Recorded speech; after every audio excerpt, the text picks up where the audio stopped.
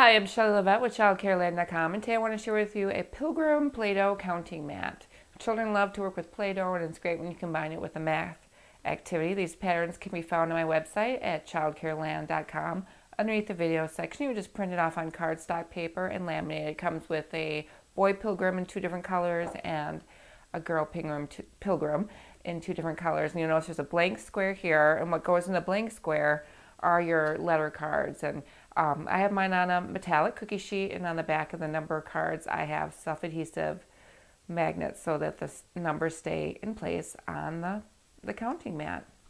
And what children would do with this activity is they would pick a number, put it in the blank spot on the mat, and then take their Play Doh and they would make two balls or two snakes, whatever they wanted to do.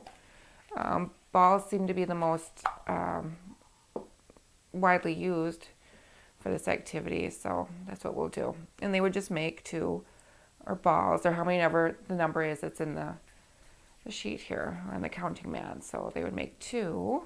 And this is great for fine motor skills development. Never underestimate the power of Play-Doh. Um, so then they would have two.